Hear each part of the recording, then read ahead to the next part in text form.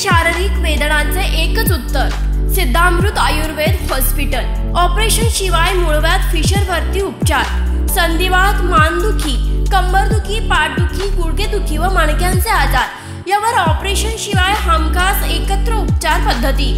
Neurotherapy अग्निकर्म panchakarma व संयुक्त उपचार याद्वारे खात्रीशीर इलाज. तसेच पोटाचे आजार आम्लपित्त मुतखडा यावर यशस्वी उपचार.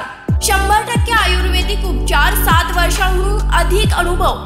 कोणत्याही दुष्परिणामाची चिंता नाही. तसेच ऑनलाईन कन्सल्टिंग उपलब्ध. आमचा पत्ता doctor Abhijit Ankush Nikam M D Ayurved Shri Siddhamrut Ayurved hospital S T stand पाठीमागे बसागरे अप्लायन्सेसच्या वर विटा.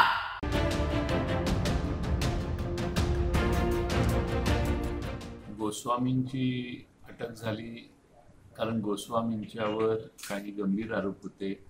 मुलांना नोकरी देतो म्हणून पैसे उकळल्याचा आरोप एक तर होताच त्याच्यावर.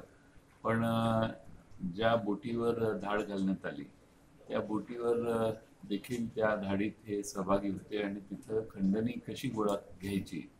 पंचवीस कोटी का अठरा कोटी? याच्या बाबतीत त्यांच्याविषयी त्यांच्याच बरोबरच्या एका सहाय्यकाने आपली जबानी दिलेली आहे. आणि हे दोन्ही गंभीर आरोप आहेत.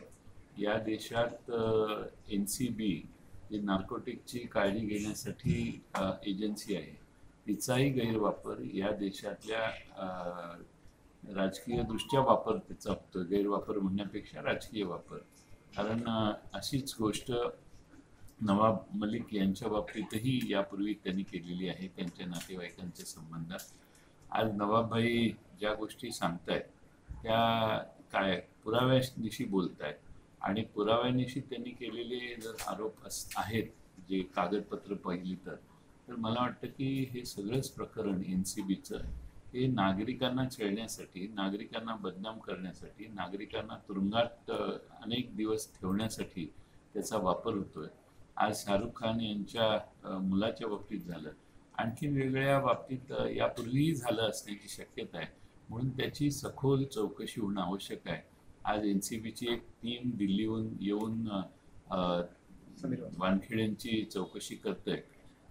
मुळात वानखेडेंनी घेतलेला जो सर्टिफिकेट आहे जे जातीचा दाखला आहे त्या बाबतीत त्यांनी आर इंडियन रेव्हेन्यू सर्व्हिसेसमध्ये जो प्रवेश घेतलेला आहे तो कोणत्या जातीच्या आधारे घेतलेला आहे हे सगळंच गणित आता अधिक उकलेल त्यावेळी लक्षात येईल लोकांच्या.